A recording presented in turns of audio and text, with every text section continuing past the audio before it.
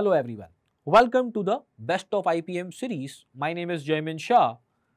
This is the IPMAT 2019 QA MCQ section.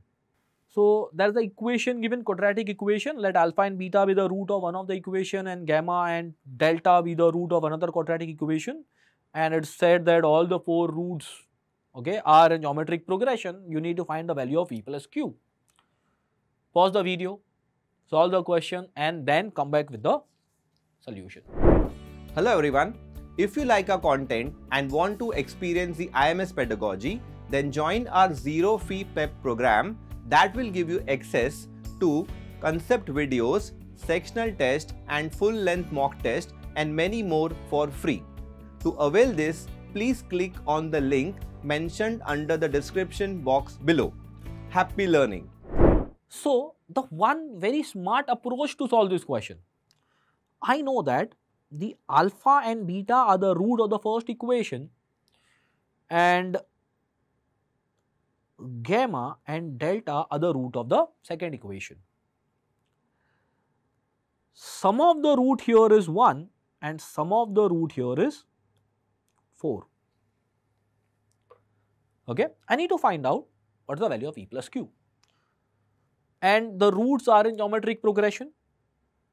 If I assume the roots to be 1, 2, 4, 8, it does not satisfy the sum to be 1 and sum to be 4.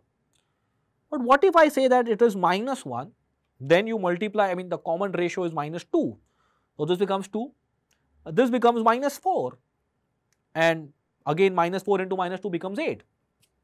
So, we have achieved this. So, what is my P here? P is product of the root. So, P will be minus 1 into 2 that is minus 2.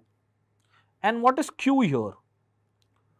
q will be minus 4 into minus a that is minus 32. So, what is the sum? Minus 2 and minus 32 that adds up to minus 34 and that is the right answer without actually solving the particular this particular question. Could have started with the number and we could have arrived at the right answer. But let us see how can we solve this question mathematically. Okay.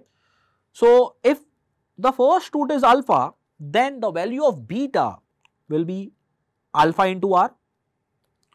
The value of gamma will be alpha into r square and the value of delta will be alpha into r cube, right. From the first equation I get alpha into alpha uh, alpha plus alpha into r that is alpha into 1 plus r is equal to 1 and from the second equation, from this equation, what do we get? Alpha, I can take r square common from this 2 term and I will be left with 1 plus r is equal to 4. Correct? So, now what I can do is I can divide this particular equation by this equation.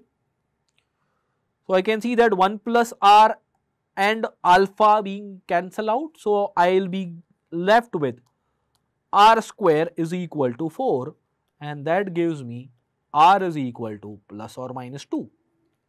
I get r is equal to plus or minus 2. So, if r is equal to 2, then substitute r is equal to 2 here, we get alpha is equal to 1 by 3. We get beta is equal to 2 by 3